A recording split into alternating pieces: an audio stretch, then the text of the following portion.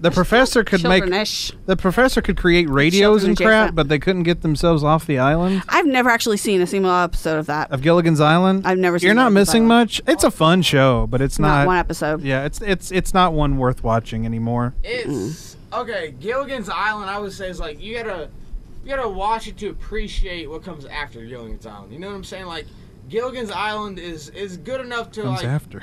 if you watch What's it, after if it? you watch it now, you're not gonna be Gilligan's like it's the worst thing brothel? ever, but like. It's it's bad enough. Gilligan's that you're, like, nursing you home. Appreciate everything afterwards, but it's not bad enough that you're like, ah, this is awful. That's- you know, that's- like it's, that was the it's next just good question. enough to be like, okay, it's tolerable. Gilligan's Sand Babies. That was what was that was the next. show. Yeah, I think that was the, that the Gilligan Sand Babies. and then I don't know. What do you What do you mean? Like after it? Like all television?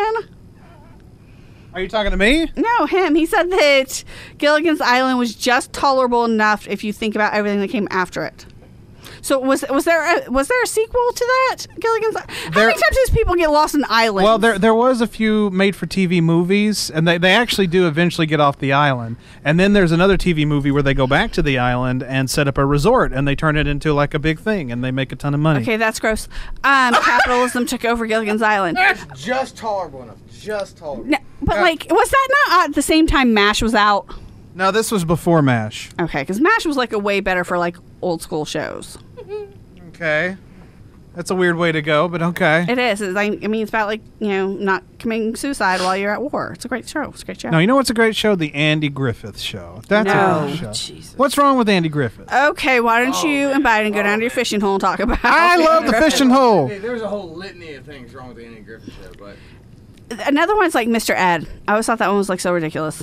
Look, they they they tried. Horse is a horse, of course. They, well, no, you know what? They didn't try. They didn't try Didn't back try then. with that. They didn't try it It with was just Gilligan's peanut Island. butter and a horse. They didn't try with Mr. Ed. They didn't try with Gilligan's Island. That's They didn't try with the Beverly Ah, Hillbillies. They said, "Hey, good. let's give a bunch of rednecks a bunch of money." What would they That's do? terrible. Ha, ha, ha, ha, they call the pool the cement pond. That's what they I did. don't know what what. I just heard semen pot. I was over here talking about how all Lost like ended bad. Listen, this is uh, like they didn't try with the Beverly Hillbillies. They said they, they said let's let's give a bunch of Oh. rednecks a ton of money. And let's see what they do with it. Ah ha ha ha! They call it the cement pond. They call the pool that they have in their giant home the cement pond. Ha ha ha! Cement pond. I got you now. Yeah. but Cement. Really try in the 60s? Like, is. No, but It's that's what now? that's how they pronounce it. Cement Does pond. anyone really try in the 60s? Like, is Do that- No. try in the 60s? I don't know. There were some good shows in the 60s. There were probably, there like were good shows. Bewitched. Yeah, there were there were good shows, but you have That to was a good remember one. there was only three channels back dad then. on here. That's, that's, oh, man. You have to remember there was Your only dad three liked Bewitched? channels I know back why your dad then, liked and so Bewitched. you would have to just watch whatever was on. They could put anything on. That's why we're actually from the 90s, though. That's what He's this a show's big about. Y'all are all talking at the same time, and it's a lot. That's true. This just smells like '90s rock. What are we doing talking about the '60s? Very campy, but like definitely for the time it made sense. I mean, because like the Addams Family too. Like now, Hey, I love the Munsters. Neither one of those really aged well if you do not modernize them. No, it's true, but I did love. But the you Munsters. can modernize them, so that's the beauty in those ones. Did Same enjoy like, that Dark show. Shadows, That like, you can modernize. And. Dark Shadows was good Well, I too. mean, hey, Johnny Depp It's just more and more I mean, is that talking.